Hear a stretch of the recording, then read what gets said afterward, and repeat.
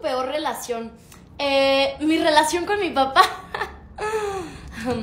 mis traumas, mis chistes.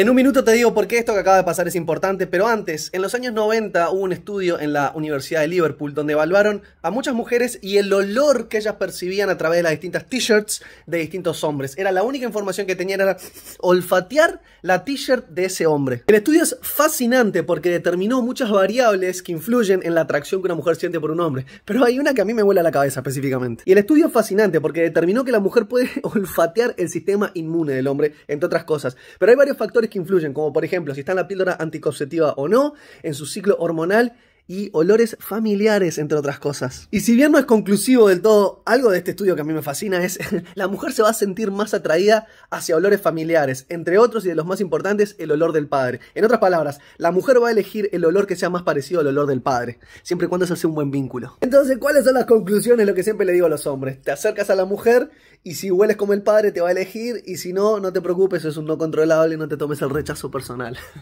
ah, bueno, y esto cambia en base al ciclo hormonal de la mujer y demás. Una complejidad increíble, pero bueno, así está. ¿Qué opinas? Déjame saber en los comentarios.